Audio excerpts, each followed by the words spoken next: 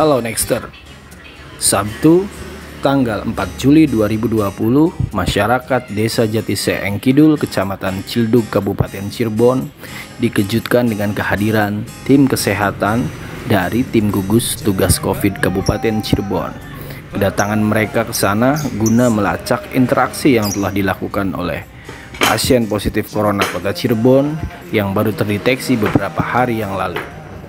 Sebagaimana diketahui, ada penambahan kasus positif corona beberapa hari yang lalu di kota Cirebon. Sebanyak tujuh orang difonis positif. Demikian disampaikan Kuwu Jati Seeng Kidul Johari pada tim JPNX TV. Assalamualaikum warahmatullahi wabarakatuh.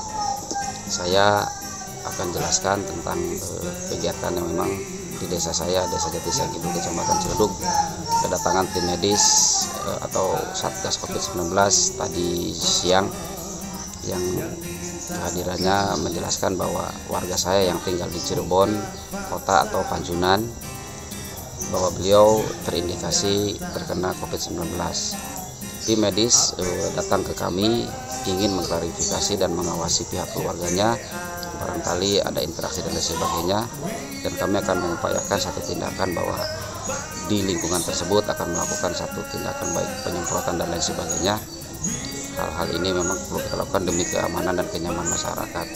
Adapun hal-hal lain pihak keluarga juga tidak ada yang dibawa ke sana karena memang dari tim medis sendiri eh, secara berita menyerahkan melakukan karantina di rumah sakit atau di rumah saja.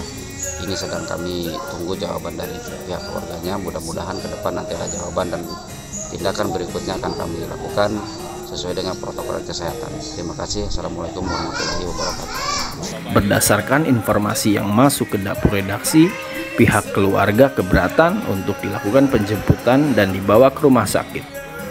Pihaknya meminta agar isolasi dilakukan secara mandiri di rumah.